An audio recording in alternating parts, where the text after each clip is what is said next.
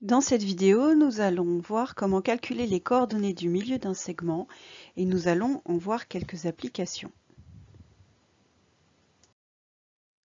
Alors nous allons commencer par une première propriété. Dans un repère OIJ, on considère le point A de coordonnées XA, YA et le point B de coordonnées XB, YB. C'est-à-dire que XA est l'abscisse du point A, YA l'ordonnée du point A xb est l'abscisse du point B, yb l'ordonnée du point B.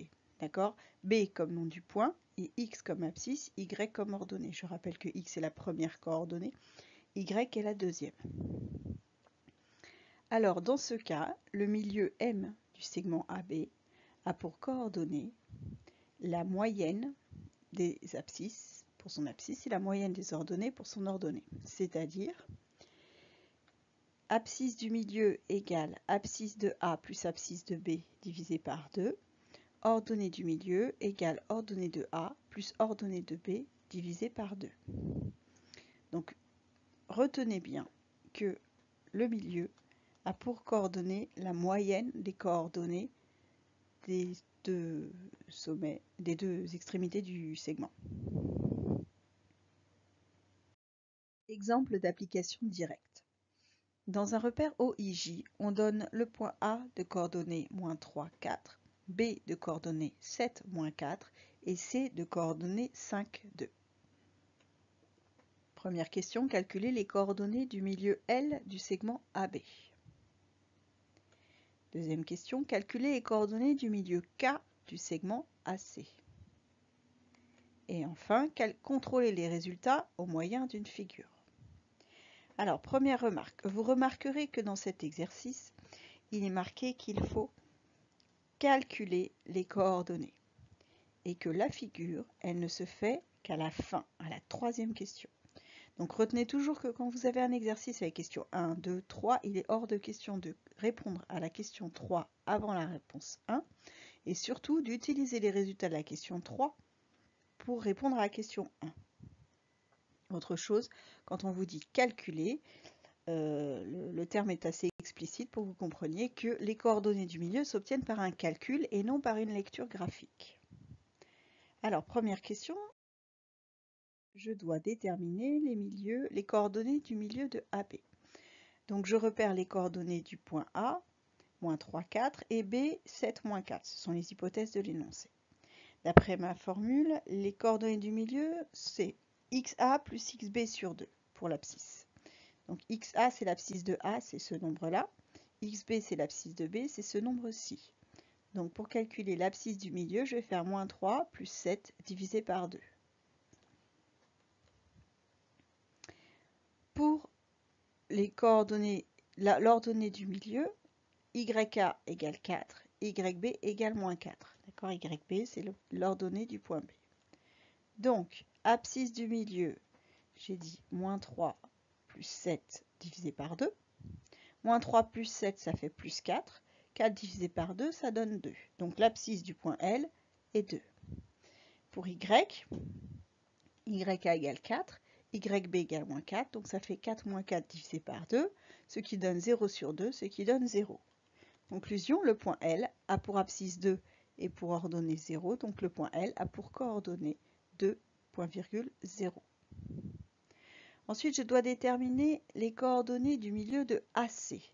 La formule est la même, sauf qu'il faudra songer à prendre l'abscisse de A et l'abscisse de C. Le point A, il a pour coordonnées moins 3, 4. Donc le point C, il a pour coordonnées 5, 2. Et donc, pour calculer l'abscisse du milieu, du point K, je fais moins 3 plus 5 divisé par 2. Moins 3 plus 5 donne 2. 2 divisé par 2 donne 1. Pour calculer l'ordonnée de AC, je fais 4 plus 2 divisé par 2. 4 plus 2 donne 6. 6 divisé par 2 donne 3. Conclusion. Les coordonnées du point L, K pardon, sont 1,3. Maintenant, je vais contrôler le résultat à l'aide d'une figure. À présent, contrôlons nos résultats à partir d'une figure. Donc on a le point A de coordonnées moins 3, 4, donc x égale moins 3, y égale 4, voilà le point A. Le point B de coordonnées 7, 4, donc x égale 7, y égale moins 4, donc voici le point B. Et donc j'ai le point L qui est ici, qui est le milieu de AB, et je trouve bien que le point L a pour coordonnées de 0. Euh, on remarquera d'ailleurs que le point L, donc il a ses coordonnées, ce sont bien la moyenne des abscisses et la moyenne des ordonnées.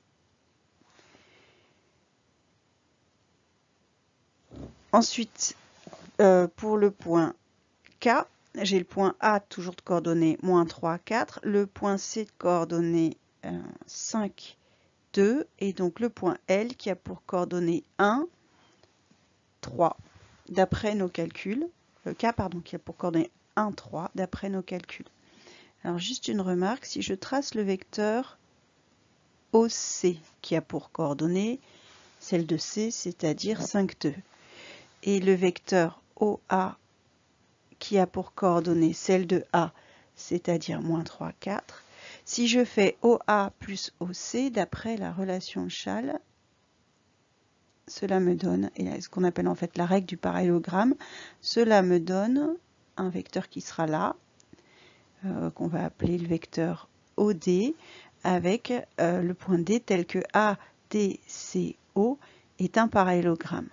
Or, je sais qu'un parallélogramme a ses diagonales qui se coupent en leur milieu.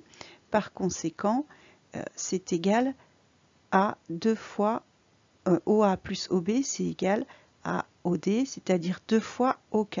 Autrement dit, OK, c'est égal à OA plus OB en vecteur, le tout divisé par 2. Donc on retrouve en fait que les coordonnées du point K, c'est l'abscisse de A plus abscisse de B sur 2, et ordonnée du point K, ordonnée de A plus ordonnée de B sur 2.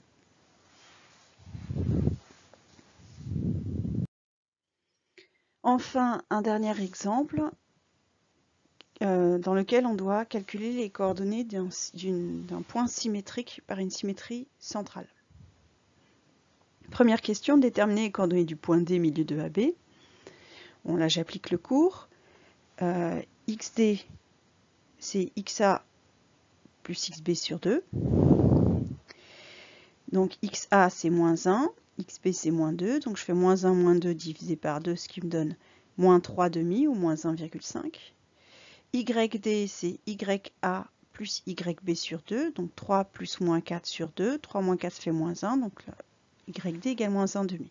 J'en déduis que le point D a pour coordonnées moins 3 demi, moins 1 demi.